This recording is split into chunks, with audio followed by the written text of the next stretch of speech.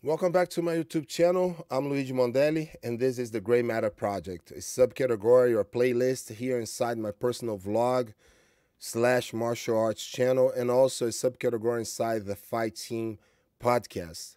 Today I'll be talking about storms, boats, snitches, and tribe. And this is a very interesting, I guess, topic, at least in my opinion, and that's why I would like to share with you. Please don't forget to consider subscribing to my channel send me your comments and hit the notifications button. It will really help me with the algorithm here on YouTube.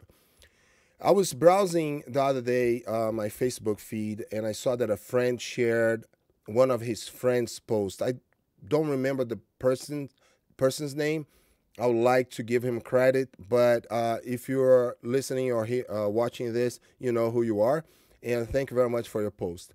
He mentioned um, this sentence we are all riding the same storm, but we are not in the same boat.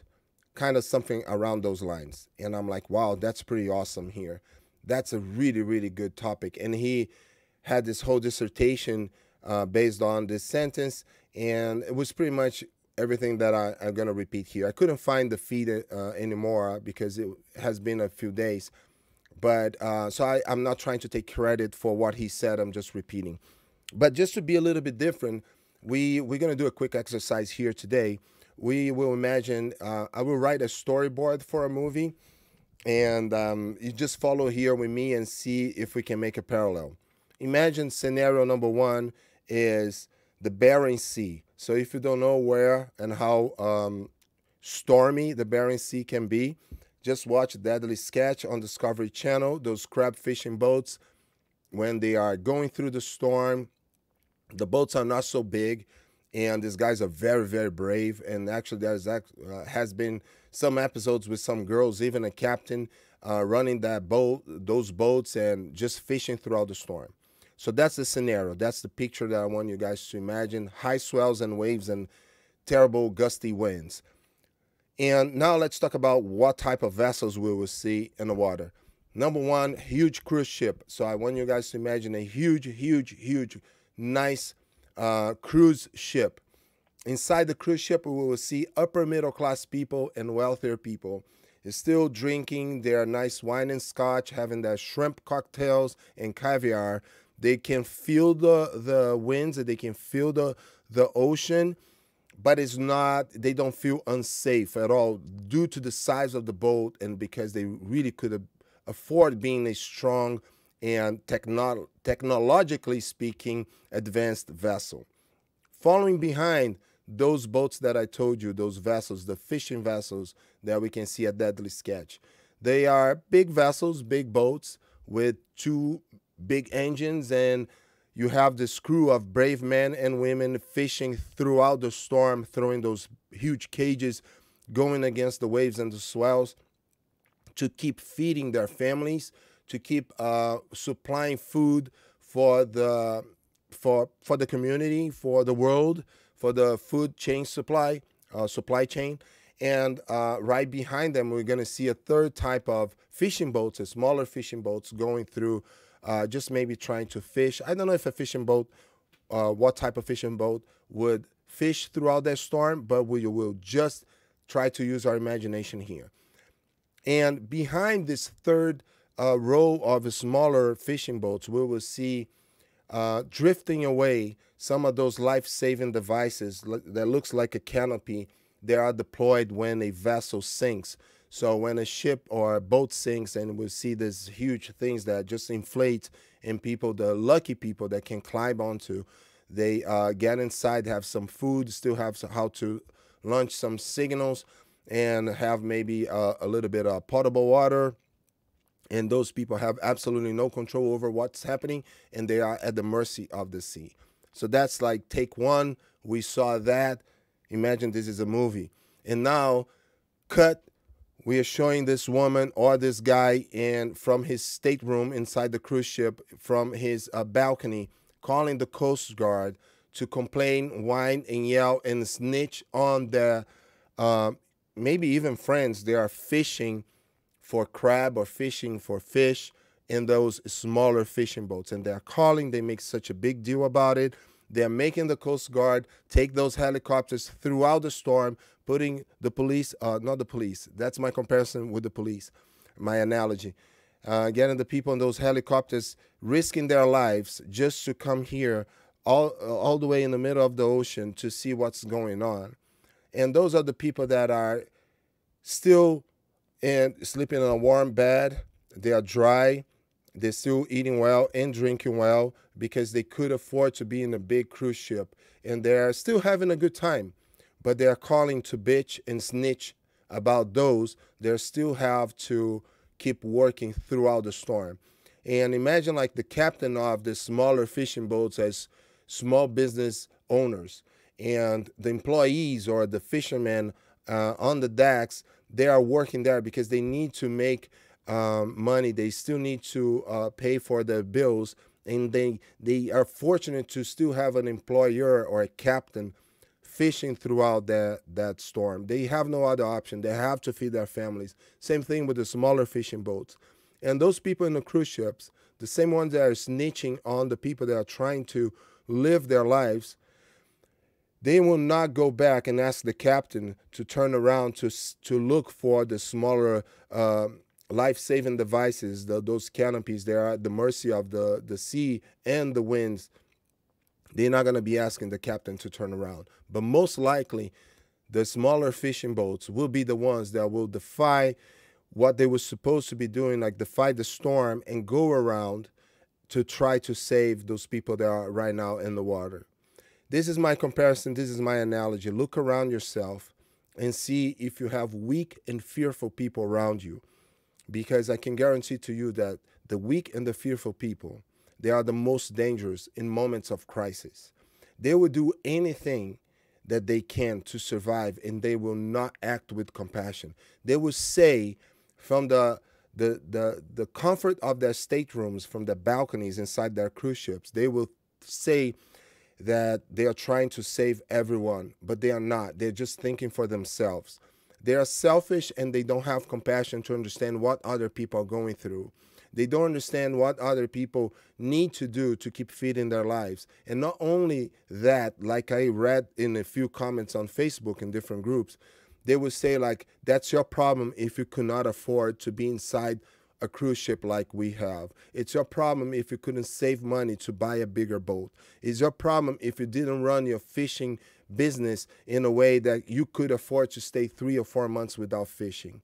And and like I said, they're not going to be going around to pick up those people that are afloat right now. If you have any snitches in your inner circle, it's your time now to look around and just like remove them from your life or better off, you could do one thing.